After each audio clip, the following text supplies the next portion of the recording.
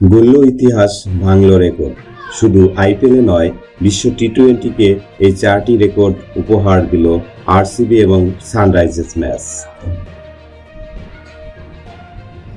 আজ আইপিএল দুই হাজার চব্বিশের তিরিশতম ম্যাচে বেঙ্গালুরু চেন্নাই স্যাম স্টেডিয়ামে মুখোমুখি হয় সানরাইজার্স হায়দ্রাবাদ এবং রয়্যাল চ্যালেঞ্জার বাঙ্গালোর।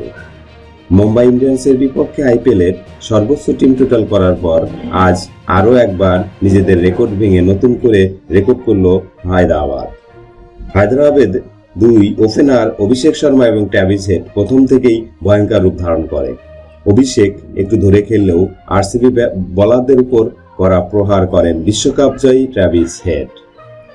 একের পর এক বড় শট খেলে মাত্র উনচল্লিশ বলে নিজের প্রথম আইপিএল শতক করেন তিনি।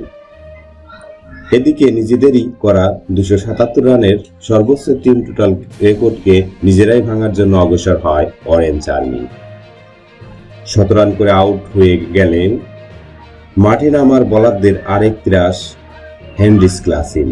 তিনি প্রথম থেকে এসে প্রভাস শুরু করেন এবং মাত্র একত্রিশ বলে দুটি চার এবং সাতটি সৎকার সাহায্যে সাতষট্টি রান করেন। শেষে এসে আব্দুল সামাদের অসাধারণ কেমিওতে নিজেদের রেকর্ড আবার ভেঙে দেয় হায়দ্রাবাদ। বিশ ওভারে দুশো সাতাশি রান করে তারা। এই লক্ষ্য তারা করতে নেমে হাফ এবং বিরাট কোহলি শুরুটা অসাধারণ করলেও গুছার উইকেট হারিয়ে ম্যাচ থেকে বেরিয়ে আসে আরসিবি। তবে শেষের দিকে দীনেশ কার্তিক একাই লড়াই করতে থাকেন এবং স্বপ্ন দেখেন জেতা। তবে উল্টো দিক থেকে কারও ছাপট না পাওয়ায় যেটা থেকে ব্যর্থ হন তিনি। মাত্র পঁচিশ রানে জয় পায় হায়দ্রাবাদ। তবে এই ম্যাচটি আইপিএল ইতিহাসে একটি স্মরণীয় ম্যাচ হয়ে থাকবে। কারণ এই ম্যাচটি একাধিক বড় রেকর্ড করেছে। আইপিএল ইতিহাসে একটি সর্বোচ্চ রান টোটাল। তাছাড়াও চেজিং হিসাবেও সর্বোচ্চ রান করেছে আর সিবি।